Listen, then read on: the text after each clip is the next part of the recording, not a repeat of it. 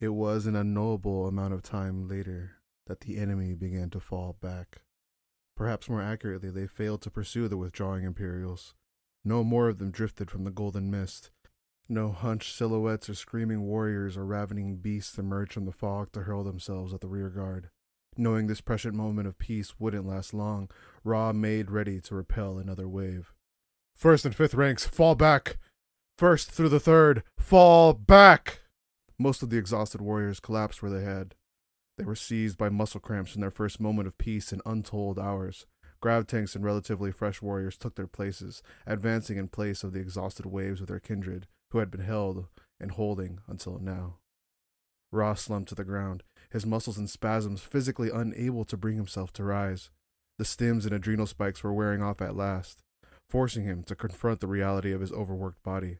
He was poisoning himself with sleeplessness, his blood rich with chemical stimulants, and his thoughts prey to the distortions of a brain refused the mercy of rest. By his loose calculations, he had been awake now for fifteen days, fighting almost every minute since the walls fell, his ears endlessly ringing with a vox crackling orchestra of conflicting voices. His body was eating itself for nourishment. He struggled to stay aware of how the evacuation was proceeding further along the passages, but there was no word beyond the arc archmechadendrite's absence and the predation of foes from many of the side tunnels. His thoughts were dull and slow, his reflexes slower. Everything he saw was stained by the graying haze of exhausted starvation. Fifteen days. His right shoulder had seized days ago, yet there had been no respite. It throbbed with crippling cramps from the sheer repetitive weight of hammering his spear down over and over again, thousands of times each day and night. The tall form of Baroness Jaya's castigator was a motionless statue above them, staring back into the mist, waiting just as they were waiting. Diocletian had done well in finding her. Vyridion's knights were precious assets in the close quarter brutality of those tunnel battles. Jodarian, another of the lords of Terra, collapsed into the road next to Ra, lying atop the last three legionaries he'd slain. Jodarian's trembling hand managed to drag his blade split helm free, burying his features to the ashy air. The custodian sucked it in, in great wet heaves. There was very little left of Jodarian's face. He left some of it in the inside of his cleaved helmet, reduced to a red smear. Ra looked at the gaping, bloody skull next to him, all that remained of Jodarian's head, half of the teeth hammered away, lost at some point in the last few days. The wounds had clotted almost at once, but the damage was done. Ra suspected he looked little better. The legionary nearest to him was still alive. A world eater bisected at the waist was dragging himself closer to where Ra had kneeled. His armor was more red than white, signifying some unknown change within his treasonous legion. Blood! The warrior murmured through a shattered mouth. I was there.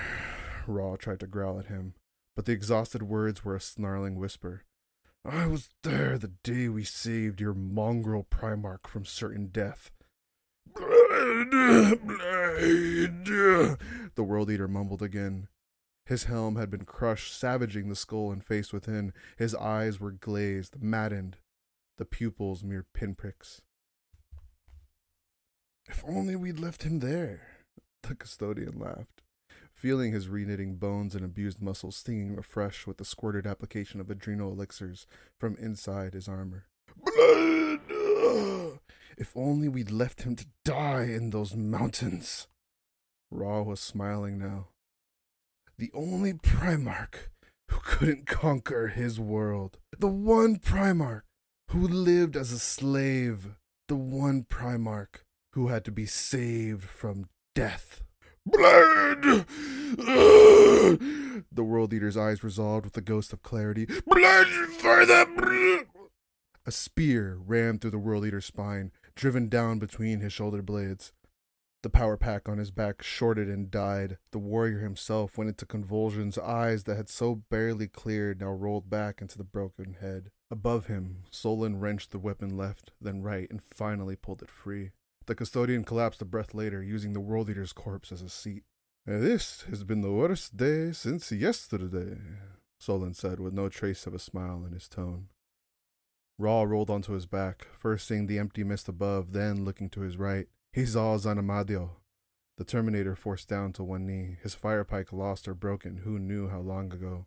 Grinding gyro stabilizers in the Cataphractii suit's joints sought to bring the warrior back to his feet, but Zanamadio slouched forwards, head lowered. He refused to rise from his crouch, or he simply couldn't manage it. Instead, adopting the pose of an ancient knight kneeling in prayer before an altar. Blood had dried while running from rents in his battle plate, and from his mouth in a slow left trickle. When he lifted his head to look at Ra, a dirty chasm of scabbed blood and broken bone showed where one eye and one ear had been. Bare skull glistened in the gold mist. Unable to speak, Zanamadio grunted. Ra tried to force a nod. Instead, his eyes fell closed. He opened them a second later, an hour later, a year later. The Mechanicum's tunnels were gone, as were his kindred. He stood in the throne room, the Emperor's laboratory as it had been half a decade before, not as it stood now. The walls lacked the hive like hollows of thousands upon thousands of recesses awaiting stasis coffins. The machinery spat no sparks. The Emperor didn't sit upon the golden throne. The great engine thrummed with automation, independent of the Emperor's presence, yet slave to his invisible will and the ambitious heights of imperial dreams. Hello, Ra. Ra turned, feeling the broken bind grind of his malfunctioning armor. He tried to kneel, but the Emperor stopped him, a hand gripping his custodian's pauldron. The tribune grunted his gratitude. Do you remember this day, Ra? The workers performed their duties around him, maintaining the rumbling machines and tending to the connective pipelines and power couplings. It could have been one of any number of days in the throne room before. No. There. There was Valdor. There was Amon. There was Ra himself, one of the twenty of the highest ranking custodians present in a loose pack, speaking in voices too low, too far away, for Ra's wounded manifestation to make out. Ra's mouth curled in a tired smile at the sight. How innocent we were. He knew of what those ghosts spoke. He remembered it well. He even followed the movements of Amon's lips, his memory providing the voice he couldn't hear. There has been no word from Aquilon. Aquilon, prefect of the Hykanatoi, the Oculi Imperator, eyes of the Emperor, assigned to watch over Lorgar in the waning years of the Great Crusade, Aquilon, who had never returned from his vigil. One of Ra's own dynastic squad had traveled with Aquilon on that long, distant mission. Cithran, a warrior who had surely also fallen to the word bearer's treachery, perhaps even on Isstvan itself in the high hour of treachery. Stoic, dutiful Cithran. Ra hoped he had died well. Remember, sire, said Ra. He watched Amon speaking of Aquilon, seeing one of his finest companions mouthing the very last words spoken before the sirens sounded. The sirens began to sound. Time is short, Ra, said the Emperor. Men and women were standing still around them. The shouts were starting to rise, accompanying the flashing warning lights. The gathered custodians spread apart in an effortless awareness of each other's killing reach, the most loyal hands in the Imperium reaching for their spears. We may not reach the dungeon, sire.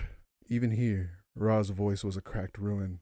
The Mechanicum has abandoned us, and the convoy is near undefended. I know, my custodian, I know. It is meaningless now. More shouting. Workers and scientists were running now, moving away from the overloading machines. The culmination of the throne room took on a strained, desaturated cast. Constantine Valdor ran to the Emperor's side, oblivious to the fact his master was playing no part in a performance that had at all happened before. The Emperor had turned to him then, Ra recalled, and said, Summon Jenetia Krole. Assemble the ten thousand. This time, though, he did not. At once, my liege! Valdor turned away to make it so. Uh, something's coming! Something's coming through! cried one of the human workers. The Emperor ignored the spreading chaos. Hear me, Ra. You must take word to the ten thousand in the Silent Sisterhood. I am leaving the Golden Throne. I am coming to you. Ra's blood sang. Eyes wide, he felt riven by sudden hope. It struck him with physical force. Sire! How? The how does not matter. Hold, Ra. Fight. I will join you in the Mechanicum's tunnels. But my liege, all, all your work! The Emperor silenced him with a stare. Behind Ra, the discolored webway portal vomited incandescent flame into the throne room. He felt its searing heat just as he had on that day long ago. He watched himself with exalted, distracted eyes moving to the Emperor's side, forming a shield of custodial auramite to protect his monarch from harm. The machines were detonating around them now. Many of the humans were on the floor, clutching at their bleeding eyes. The hateful radiance emerging from the webway had stolen their sight. Those still not standing were no safer. Shrapnel flew in a lethal, burning blizzard, cutting them down in their dozens, shearing limbs from bodies, severing heads from shoulders. Wreckage clattered against Ra's armor now, just as it had rained upon it then. He had seen it. He had seen this five years before a dagger of jagged metal spearing into Amon's side, causing the custodian to grunt across their shared vox. A bleeding, desecrated behemoth melted through the webway portal. It dripped with the blood of souls it had sacrificed to reach this point in space and time. Laughter haloed its terrible form. The laughter of mad entities pantomiming as gods. Their laughter formed the silly strings of puppeteers, pulling at the creature's limbs and thoughts. It said one word, one terrible proclamation with enough psychic ferocity to slay half of the panicking humans still breathing. They warped and thrashed and burned beneath the pressure of that single telepathic damnation, their flesh losing all integrity, their essences devoured from the inside out. Father! Valdor was firing. Amon was firing. Ra then and now was firing. He, and the image of himself, reloaded in temporal harmony, slamming fresh sickle magazines home in their guardian spears, resuming the torrent of upward bolter fire. The pain of Ra's wounds was gone. He didn't think, didn't care that this was a memory. He unloaded his guardian spear into the demonic avatar of Magnus the Red, just as he had done on that fateful day. He screamed through clenched teeth, again just as he had done before, just as he was doing now, not two meters away. Awaken, Ra, said the Emperor. Fight on. And as ever, his custodian obeyed. Kira's captives sang as the machines began their work. In none of the circumstances and possibilities that she had considered would the doomed prisoners sing. She couldn't hear them, couldn't even be certain they were singing at all. She was only alerted to this unforeseen behavior by one of the tech adepts retracting his secondary arms into his robe and turning his sun-starved face to the coffins above. Hundreds of them were bound to the wall, chained in place. They are singing, he said in faint wonder. Kira's narrowed gaze saw a host of emotions on the various captives' faces. Some were shouting in their soundproof pods, beating their fists bloody against the transparent panels. Some were curled in fetal positions and seemed to sleep. Several even seemed to be in silent rapture, utterly calm and composed. Others lay with their heads back, eyes and mouths open, and yes, she could imagine, just about, that these last souls with their rigor mortis expressions were tortured singers. She had believed they were screaming, given what was being done to them. It seemed far likelier. What could they possibly sound like? She could summon one of the young novices who hadn't yet oathed her tongue to tranquility to ask on her behalf. Yet as Kira stared around the chamber, hearing only the rumble of the Golden Throne's supplemental generators, she felt grateful for the gift of her hollow heart. Some questions needed no answers. She turned her gaze to the enthroned emperor, feeling the acid bitter irony. Here sat her king, committing his consciousness to the machine created to save a species, and yet, chained in place across the chamber and trapped within parasitic coffin pods, one thousand prisoners screamed in silence and psychically sang their souls away, batteries for the throne, so the emperor might be free. Human lives reduced to sources of psychic power. Sacrifices. The thought set her scalp prickling. The throne room's power flickered for a moment on the edge of failure. Machines around the chamber slowed, several of them giving ugly whines of protesting mechanisms until the power stabilized. One of the coffins emitted a hauntingly gentle chime as the data panel on its surface flashed red with warning signs. The first one has died, Kira thought. Died already so soon. Upon the throne itself, as the generators around the chamber hummed louder, the Emperor of Mankind opened his eyes. This is now all of her memories, all of those dens reeled to a close, no longer lying on the grass hearing a distant storm, no longer confined in the cargo hold of a spaceship, treated as a slave. They were then, and this is now. Skoya opens her eyes. She is bound within her own coffin, bathed in a tremulous sound. It rises octave by octave, and she thinks of a deep sea monster. Ship eating creatures stirring and thrashing upon the lightless ocean beds as they begin to rise.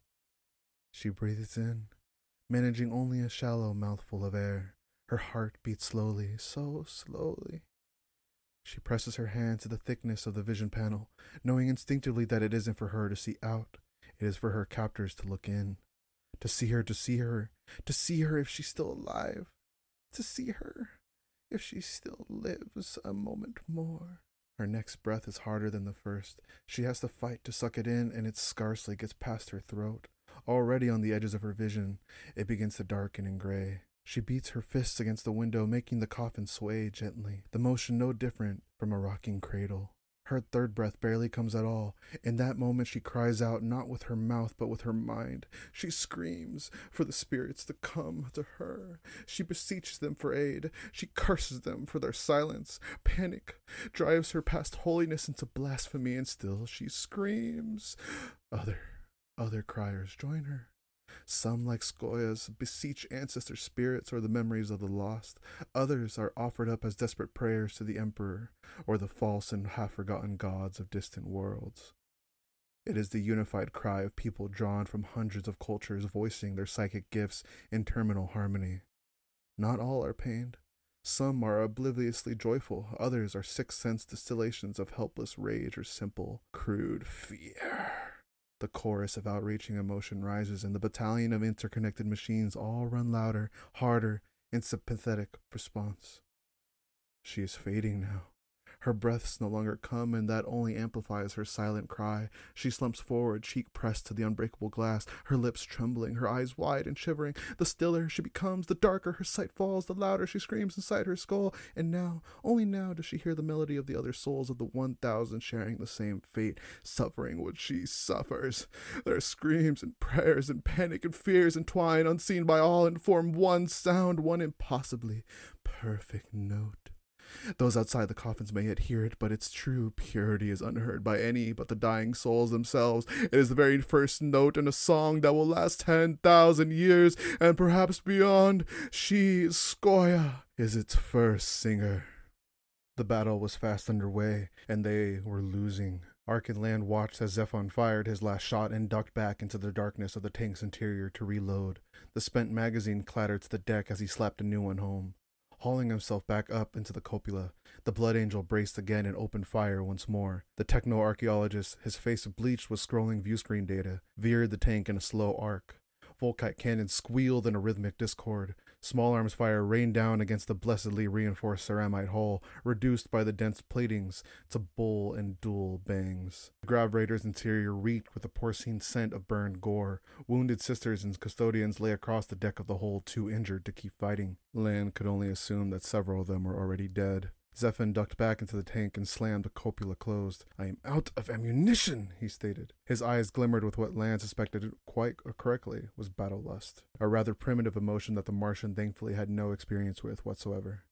The Blood Angel locked his bolter to hip with a thumbed activation of magnetic seals. He crouched by one of the injured sisters who had clutched the stump of her arm and was holding it against her chest.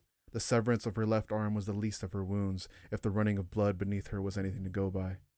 Something had gone badly wrong inside of her during the battle. A sword through the guts, most likely, thought Land. A pathetic way to die. A death worthy of a primate in Terra's stone era. He loathed the female warriors, and couldn't for the life of him fathom why. They were private, yes, but seemed agreeable enough. Yet merely looking at them made his skin crawl. Being near enough to smell one of them, or Omnissiah forbid, accidentally come into contact with one of them, was enough to make his bile rise. He was even more careful not to stare towards the enemy. The Raiders' automated and servitor manned Volkite array was more than capable of responding to threats. The last time Arkhan had longed to look out across the enemy horde, he'd been unable to summon speech for several minutes. No aliens, no matter their world of origin, walked as a host of blade bearing, cyclopean corpses able to ignore the butchery of their own flesh.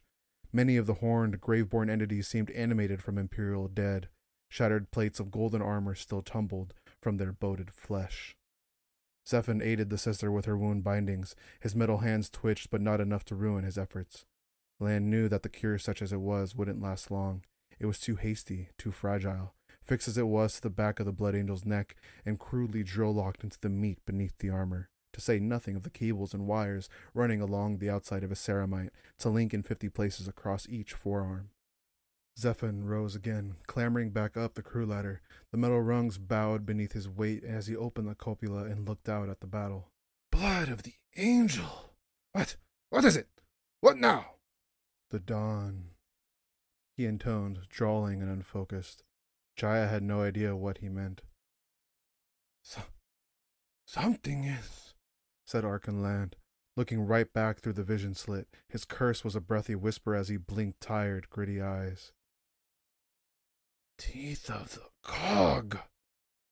Their neighbor, Jaya, turned towards the techno archaeologist. The unhealthy radiance of the viewscreen was gone from the explorator's features. Instead, he was bathed in a white light streaming through the vision slit. Dust motes danced in the beam of illumination. What is it? she asked. I, well, I, I, I don't know, Arkhan stammered. It, it, it looks like the sun is rising. And, in a sunless realm, the sun rose at last. The light of dawn was palpable on Ra's armor as well as his skin. It was a pressure, a presence with searing physicality.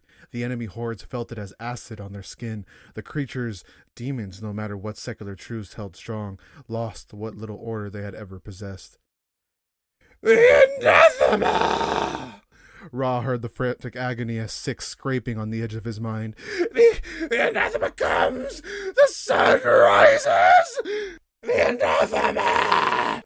His features were those of one born in the wild lands of ancient Eruja. His skin was a Terran blonde of bronze and burnt umber. His eyes darker still, his hair darkest of all. The long black fall of his hair was held by a simple circlet crown of metal leaves, binding the mane back from his face so he could fight. More practical than regal. He moved as a man moved, coming through the straining ranks of his guardians on foot, pushing through the press of bodies on the rare instances they didn't instinctively move aside for him. He wore gold, as all of his guardians wore gold. The same sigils of Terran unity and imperial nobility that showed on their armor were cast thricefold upon his own. His armor joints didn't growl with the crude industrial snarl of mass manufactured legionary plate, but purred with the song of older, purer technologies. On his back, held by a simple strap against his flowing red cloak, was an ornate bolter of black and bronze. In his hand he carried a sword, one that looked nothing like the blade portrayed in the victory murals and illustrated sagas. By the standards of Terran lords and kings, it was inarguably beautiful, but in the grip of the ruler of an entire species, it was, perhaps, rather plain. A weapon to wield, a tool for shedding blood, not an ornament to be admired.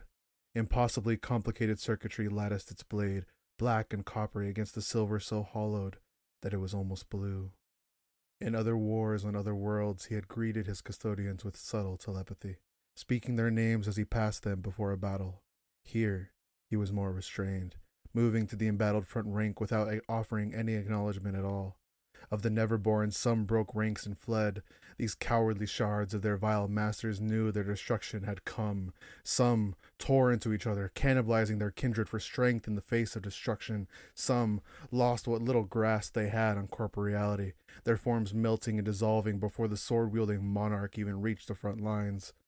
The strongest raged at the sin of his existence, with a gestalt below loud enough to shake the windless air of this alternate reality, they fought to reach their arch enemy. Ra was at the Emperor's right side, spear whirling, lashing out to punch through the amorphous bodies of flailing blue creatures that wailed through their many mouths. Sweat baked his face inside his helm. The blood in his muscles was heavier than liquid lead. Orders, sire! The Emperor raised his sword in a two handed grip.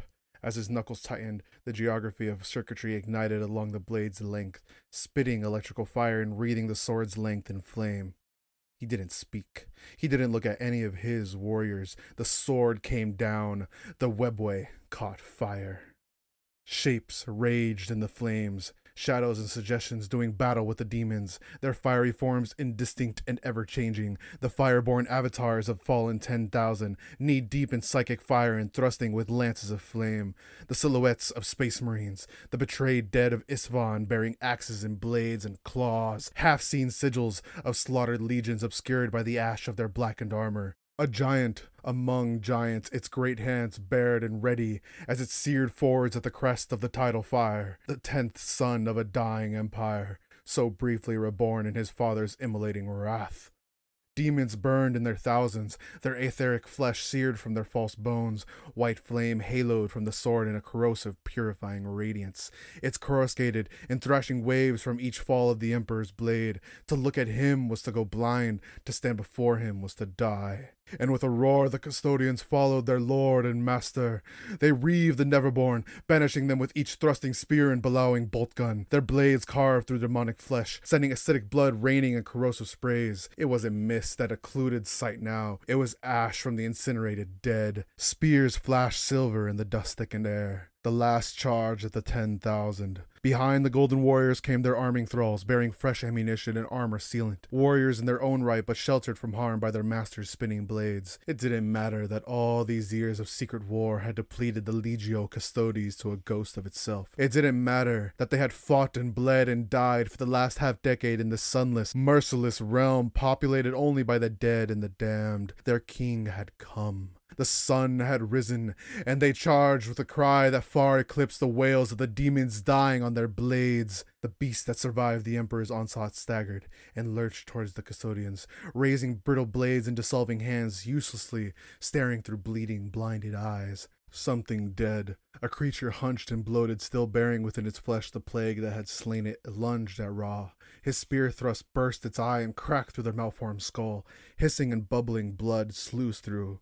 Uh, Ra's gauntlets, steaming as it burned away in the Emperor's aura. He loosed his last explosive bolts, sensing the weapon was empty before the warning sigil flashed on his visor. Reload! Ra cried as he hurled the weapon back towards the armory thralls, already drawing his meridian swords in its place.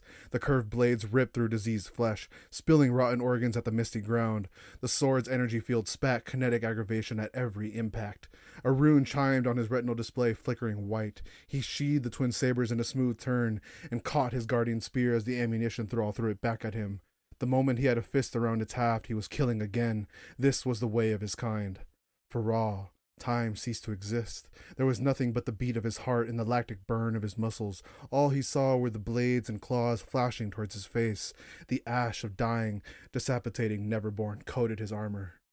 Reload! Solon called from behind him. Ra heard the snap crack of Solon's meridian swords activating, and the rumbled murmur of compliance as the armory thrall gathered the guardian spear left thrust into the ground. Ra parried a cut from a heavy brass blade, returning a blast from his digital lasers that blew the creature's face out of the back of its sloped head. Demonic slop from the burst skull rained across the Emperor's back, turning to ash before it touched the monarch's armor. Torrents of chemical fire marked the Zanmadio's position to Ra's left. Ra could hear the draconic roar of incendium pikes, burning the still thrashing creatures that had fallen beneath the blades of the custodian's first rank. The ten thousand and their golden king were shin deep in ash, the smoky specters of demonic entities flailing as they were swallowed by the emperor's fire. The demons that managed to reach the Emperor suffered worst of all, the strongest, most savage of their kind. They swung weapons at a man who was no longer there, cleaving through golden mist that swirled in his place. With thundercracks of psychic force, the golden warlord would appear at the beasts' backs, his flaming sword already buried in their spines. Fire erupted behind their eyes, boiling and bursting them from within. Their sizzling gore soaked Ra and the custodians closest to their sire. Exultation quickened Ra's blood. The cure to the weariness that had slowed him. He was still tired beyond belief, yet that had never mattered so little. Each beat of his still living heart was vengeance, vindication. We're winning. He could feel it in the renewed curses and oaths across the Vox as the ten thousand advanced. They weren't just holding their ground. Whatever genius the Emperor had worked in order to stand with them in this final hour had worked. Nothing could stand before them. The Emperor turned to Ra, hurling his sword as a spear. It lanced over the custodian's shoulder, driving to the hilt in the skull of the creature Ra barely even saw before it was reduced to a burning sludge.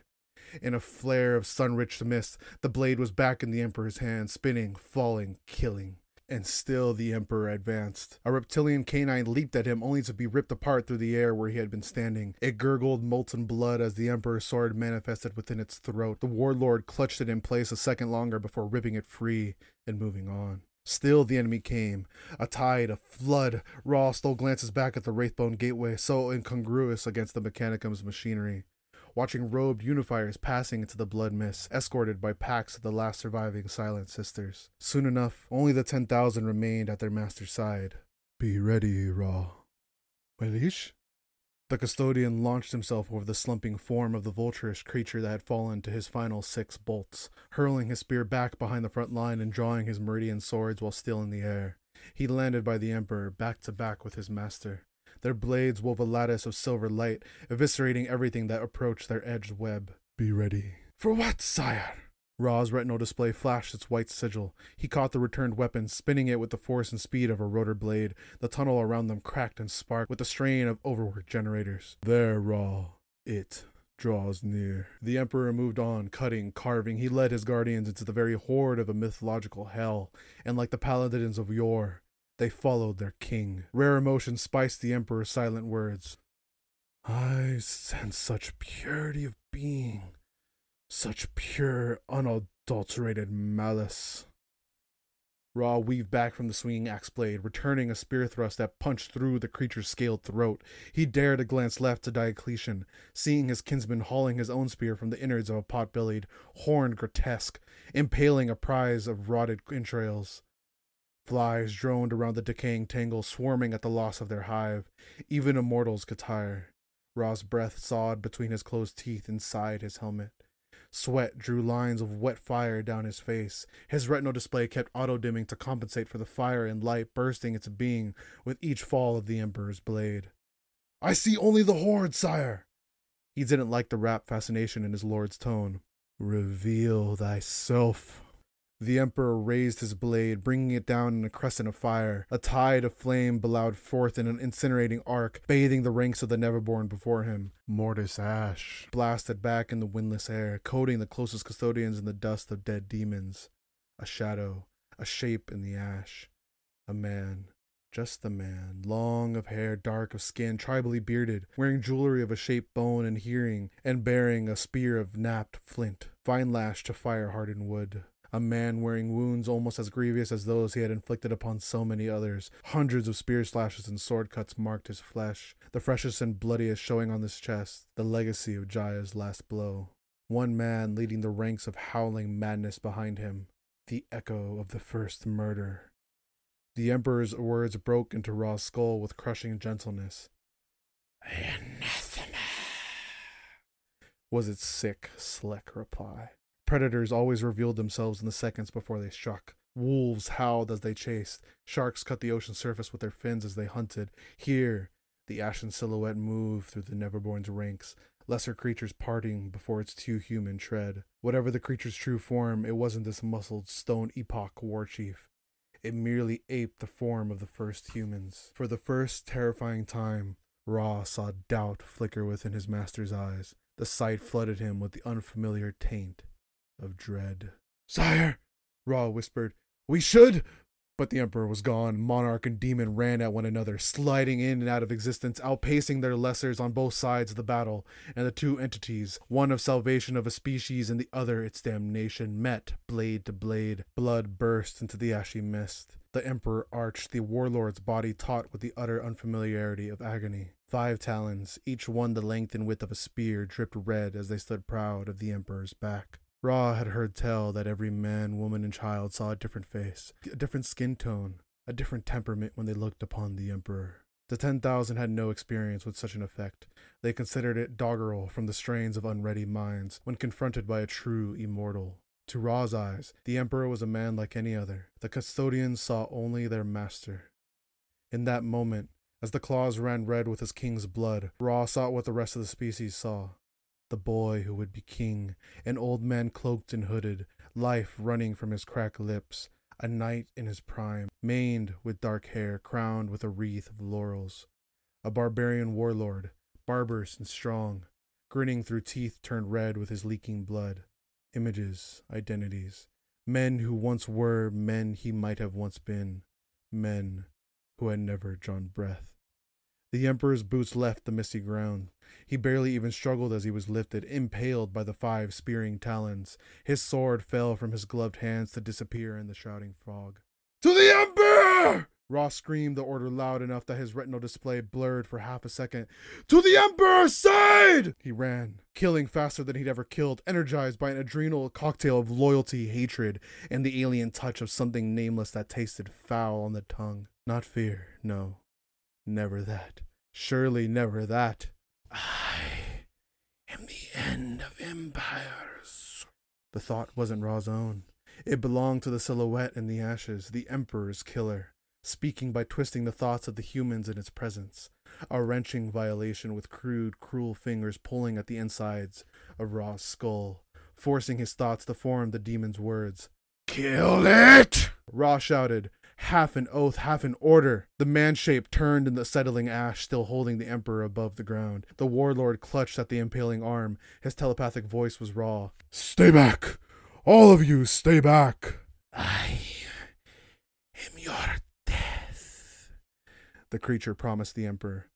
Perhaps one day, but not this day. Gold light flared bright enough to blind unshielded eyes. The Emperor manifested at Ra's side, bent down on one knee, one hand clenched to his chest, hair hanging down to veil his features.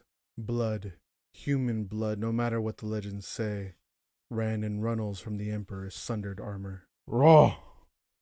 The sending was thick, with pain, defiance, and then Ra!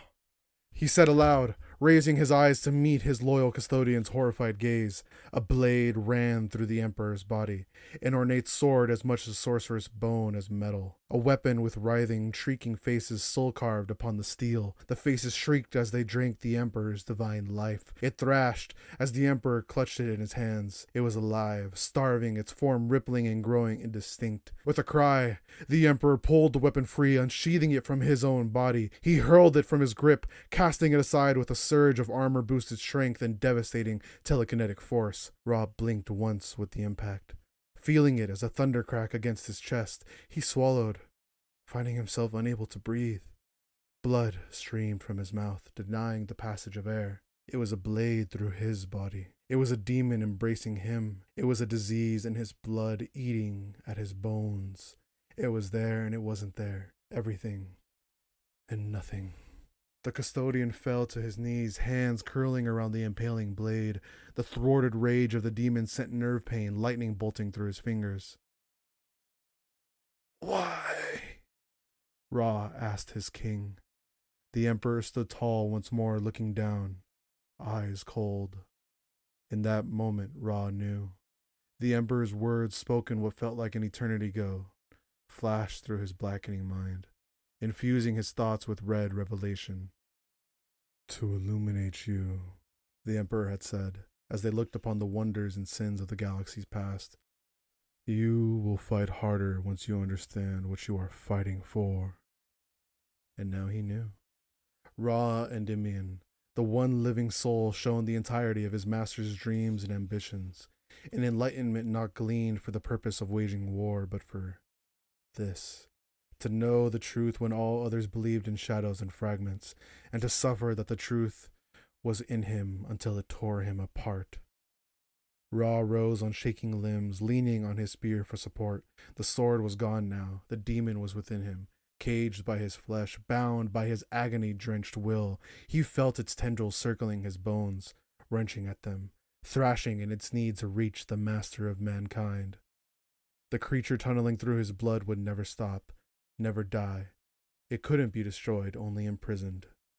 The custodian didn't meet his sire's eyes. He didn't demand any explanation or apology.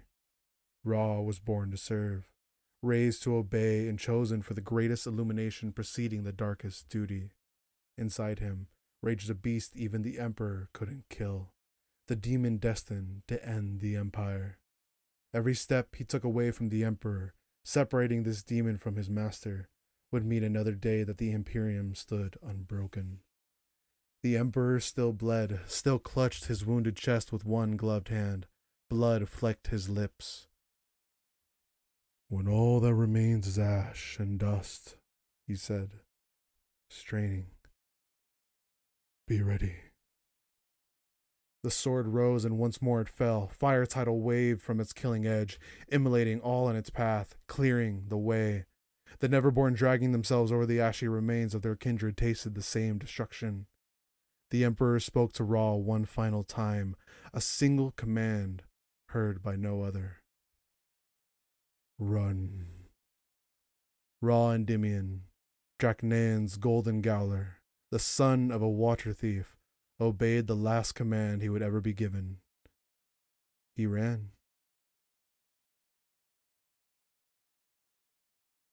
Last bit. The death of a dream. Diocletian tore his helm from his head, breathing in the ozone and machine stink of the imperial dungeon. Sweat sheened his face, blood painted his armor, much of it his own. He was the last one through. The tunnels are detonating! He declared, breathless. Golden mist still pulled at his armor from the portal behind him. The circuitry is igniting! Whole sections of our tunnels are falling away into the mist! I couldn't see Ra! He didn't die, I'm sure of it. I was at his side. I would have seen! He knew he was raving. He didn't care. He spat to clear his mouth, spattering treachery blood on the floor of the Emperor's throne room. Beyond the ringing in his ears, he was aware of a sound, some kind of mechanical droning, a hum falling slowly through the octaves. Diocletian's spear clattered to the ground, deactivating the second it left the gene coating of his grip. Blood followed it, running from wounds too deep to swiftly seal. The blood ran down his arm and surfaced through the breaks in his auramite, dripping from his curled fingers. Seal the gate! he ordered, not even knowing if it could be done. They're still coming! Thousands of them! Seal the gate now, or we lose Terra! They were already trying, he saw. Adepts and engineers clustered around the machines, working the controls of each system. His war struck thoughts made the connection with the slowly mechanical drone.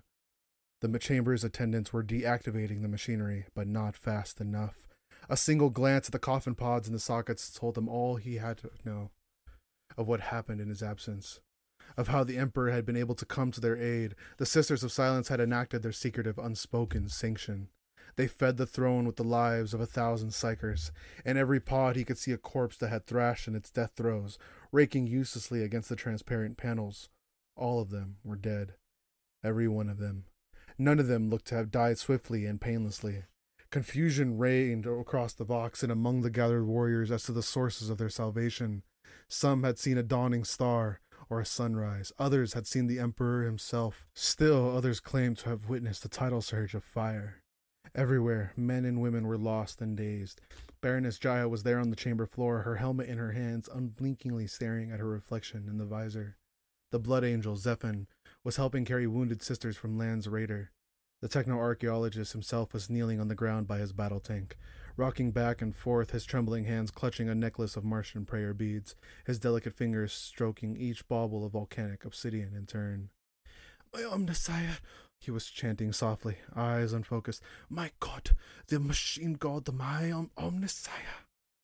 Sagittarius lived, his chassis scored and ruined, the smokestacks on his back belching unhealthily from his overpushed generator. The dreadnought had his back onto the side of Land's tank, leaking vital fluids from its eternal sarcophagus in an oily puddle. Sisters and warriors of the ten thousand gathered in monumental disorder, all of them looking to the portal's arch, all of them hearing the slow drone of machinery powering down. Diocletian was still demanding answers of the others when Kara came to him. Where's Ra? he asked her. Did he make it back? He didn't fall. I know he didn't fall. Her eyes tightened with tension. He didn't fall. Diocletian repeated. I was there, next to him in the battle line. I would have seen it. He'll be on the wrong side of the gate when it closes. Sister Commander Krole came to Kara's side, signaling briefly for Diocletian's benefit. He didn't know her as he knew Kara. He couldn't read her meaning by expressions alone. Her signaling was blighted by the fact she had lost three fingers from her left hand. Wounds patterned her features while her armor showed the ruination of too many hours in the front lines. No! I was at his side, Commander. He didn't die. One moment he was there, the next he was not. Machines were going dark all around them, great engines of the Emperor's own vision. Centuries in the design and decades in the making were cycling down. Hemorrhaging power, slowly, slowly, far too slowly. Diocletian sought the Emperor himself, seeing his master ascending the steps to the golden throne once more. My liege! The Emperor enthroned himself, his grip loose on the armrests. Sire! Seal the gate! The Emperor waited, staring towards the portal. Even from such a distance, Diocletian could see the intensity of that stare. The Emperor fixed his gaze on the gateway, waiting, waiting, hesitating to do what must be done, reluctant to abandon his greatest ambition, or hopeful yet that another figure might manifest from the golden fog. A shape darkened the mist, something winged and clawed, another figure bloated and horned, and more, others, a host of inhumanity. The throne engines were still cycling down. Sire! Diocletian pleaded. The emperor closed his right hand into a fist, clenched within his glove. With a harmonious pattern of thunderclaps, every generator within the chamber went dark, their internal mechanics rupturing, starving the golden throne of energy. The archway that led to humanity's doomed salvation was nothing more than an ornate doorway leading to the bare rock of the throne room wall. Power failed completely, plunging the imperial dungeon into darkness.